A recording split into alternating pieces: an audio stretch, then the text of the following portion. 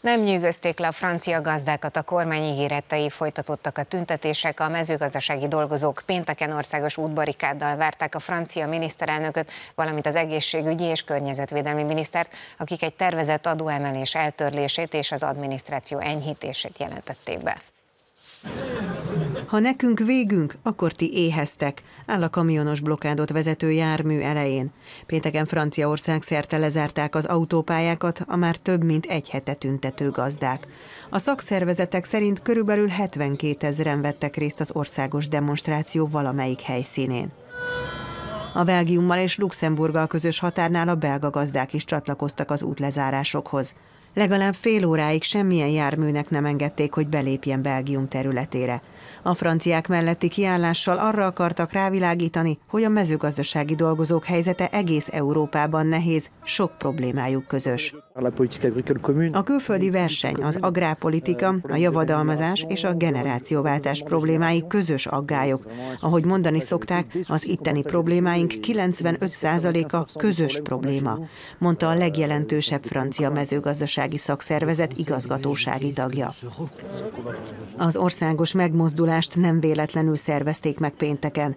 Gabriel Attal miniszterelnök a mezőgazdasági és a környezetvédelmi miniszter társaságában ellátogatott a gazdák egy csoportjához Hótegaronne régióba. A politikus az erőszak elkerülésére szólította fel a tiltakozókat, ugyanakkor azt ígérte, hogy a kormány figyel a gazdák hangjára, és néhány könnyítést be is jelentett a számukra. Úgy gondolom, ezzel a találkozóval meg tudjuk mutatni, hogy tudunk egymással beszélni, nem kell erőszakhoz fordulni, ami megbocsájthatatlan. Ez a találkozó azt is jelenti, hogy úgy döntöttünk, a mezőgazdaságot mindenek fölé helyezzük, fogalmazott a miniszterelnök. A politikus bejelentette, hogy a kormány visszavonja a mezőgazdaságban használt nem közúti gázolaj adójának tervezett emelését. Az összeg fokozatosan emelkedett volna 2030-ig. Továbbá a gazdák adminisztratív terheinek enyhítésére 10 azonnali egyszerűsítés bevezetését ígérte.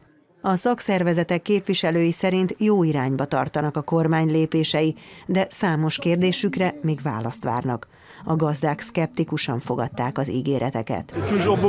Mindig sok az ígéret, bejelentenek bizonyos gyakorlati intézkedéseket, de vannak olyanok, amikhez időre van szükség. Kíváncsiak vagyunk, hogy valóban tartják-e a szavukat. Nem vagyok teljesen meggyőzve, mondta egy férfi. A gazdák sérelmezik többek között az olcsó külföldi élelmiszerek, például az ukrán gabona beengedését, az alacsony jövedelmeket, az unió zöld és környezetvédelmi törekvéseit. Közölték, a tüntetések folytatódnak. Az elégedetlenek egy csoportja éjszaka gumiabroncsokat és hulladékokat gyújtott fel egy autópálya mellett, de voltak olyanok is, akik szemetet hordtak egy kormányhivatal épületéhez.